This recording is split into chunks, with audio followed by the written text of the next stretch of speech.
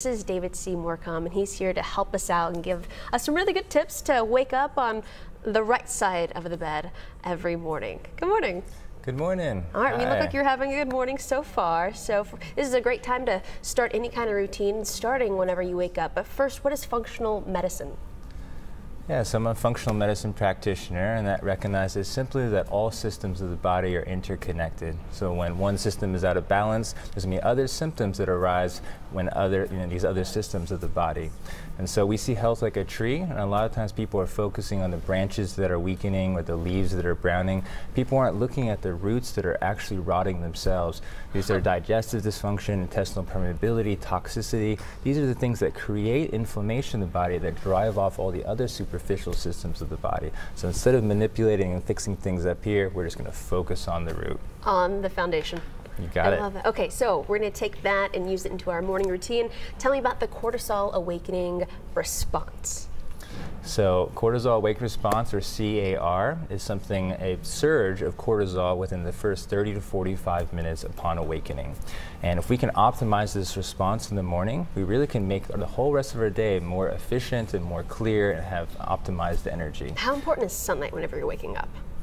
Uh, sunlight is an important part of optimizing CAR actually. As soon as you wake up in the morning, if you wake up with the sun, your CAR is going to increase. And if you can get out into the sun at least for 10 minutes or so, every second when that uh, sunlight hits the cornea of your eye, that creates serotonin, and that serotonin makes you feel good for the rest of the day. And that serotonin at night is converted into melatonin so you can have a nice restorative sleep at night. I love this, how you're breaking everything down. So you're saying wake up, go outside, and stare into the sun. I'm joking, totally joking, but it's a good idea to get some vitamin D. How about the best way to rehydrate after a good night's sleep?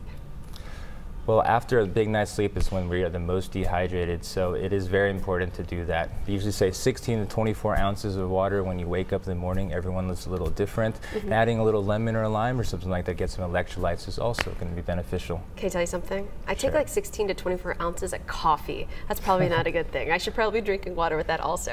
Are you okay with coffee though? Caffeine in the morning? Yeah, I mean, I, I have my own tea and coffee, and, and, but there are also many other alternatives like cacao and different adaptogenic herbs and tonics, hmm. elixirs. Maybe we'll talk about that next time. All right, sounds good. Okay, and you say that we can get a jump start on our digestion before we actually eat breakfast. How? I mean, you could add that in with the, the rehydrating routine, actually. When you add a lemon or a lime or you add some oh, apple cider vinegar, for example, yeah. that stimulates your digestion and gets you ready to eat breakfast. And actually, most of our energy goes into the digestive process, so we can help it out a little bit. The energy can go to our brain to have optimal cognition and function. And this is something I mentioned earlier, and I mm-hmm. cannot wait to see this. Breathing techniques. What, but why would we need a breathing technique? Well, I mean, starting the day in mindfulness and in stillness and, and, meditation or yoga, you know, especially with the chaos of our world and what we are really expected to walk into every day, can be really helpful just to clear your mind, get things started. Um, but you know, there's many different types of breathing techniques. One that I like to do is called the breath of fire, and this is something uh, from the Kundalini yoga tradition. And it's, it's kind of silly, it's kind of crazy, and I do it in bed where no one can even see me. But it's just but hyper now you have to do it on live TV. See, we didn't talk about this. I know, I'm not I know. sure about this. He's like, you sure you want to do this? Or just maybe quickly give us an example of what it is that you're doing in bed. Yeah, it's, it's a quick breath in and out through your nostrils, and you're pumping your abdomen very quickly when you do it. So it kind of okay. looks like. Okay. And something like, you know, before I even wake up for the day while I'm in bed, if I'm really tired, I'll just do breath of fire for a couple of minutes and oxygenate my body, my brain. My brain turns on, and then I get started. We all just day. learned something right there. I love it. Thank you. It's, it's, something I'm going to try uh, whenever I'm laying in bed also. All right, some people, they wake up and they exercise. I really admire those people. I can't do that, but for those who want to try that out, what would be the best method to get moving? Well, the first thing I would say is that we don't have to make it complicated or long in any way. I mean, the research and high intensity training is really about just getting your heart rate up. And you can do this even for a minute or two, and that's an equivalent to an hour of aerobic exercise if you're really getting that heart rate up.